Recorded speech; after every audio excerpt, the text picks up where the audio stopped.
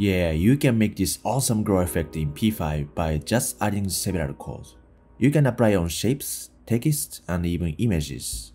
So let me show you how we can play with them. So this is a rounded rectangle you can draw with this ordinary rect function.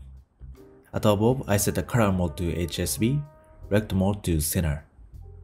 So to get the glow effect, all you need is add those two lines above the rect. I set the brightness and the glow color, for now same as the rectangle. So let's reload it. Ooh, too easy. These are originally HTML functions, but currently we can use in P5 in this way. I put several resources about those stuff in the description below.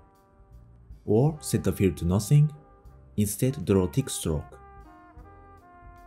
Now we see the glow both inside and outside. I like this. If you duplicate a rectangle, you can increase the glow intensity.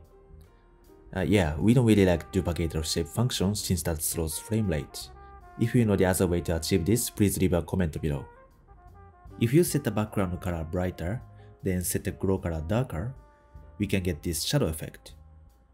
But this looks too flat, so I put other two properties here offset X and Y. Okay, that looks much better. Oh, let's make it mouse interactive. I map 0 to width of mouse X to 20 to minus 20. I do the same vertically.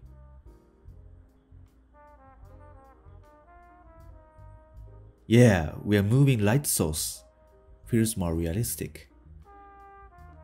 By the way, if you are finding this video is helpful, I'd love if you would push the like button so this video spreads to more P5JS coders. When it comes to the glow effect, many of you might imagine this neon sign effect. To make this result, I use this font, Alex Brush, and two PNG images, Coffee and Block Wall. I put them in the asset directory in the project.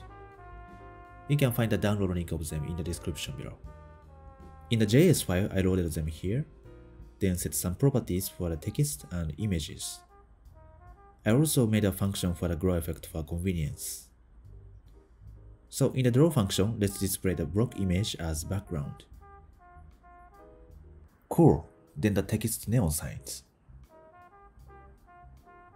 I type coding party, put the center of the canvas,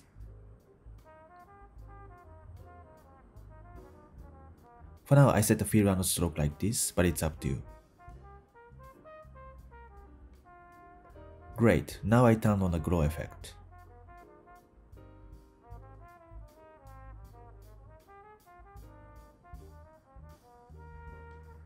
Hmm, I set pinkish color for the glow, but it's very subtle, so I duplicate the text.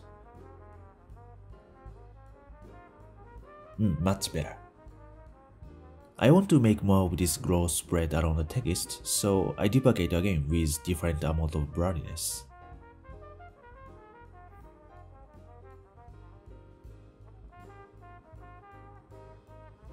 Mmm, beautiful.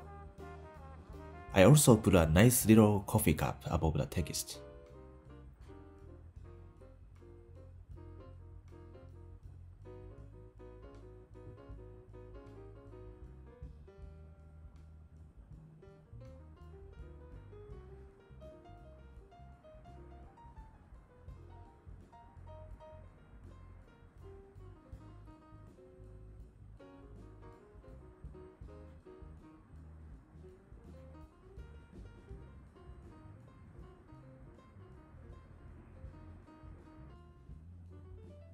Mm, now it looks awesome. Lastly, let's make flickering animation using Perlin Noise. I make an offset. I also make a function flickering. Inside the function, increment the offset. Generate a noise value with the offset. Then if the noise value is less than 0.3, return 0. Otherwise return 100. I use this for opacity of the images. In this image neon function, at first I make one image dark gray by darkening the brightness. Also turn off the glow. And for the rest images, I set the opacity to this value flickering.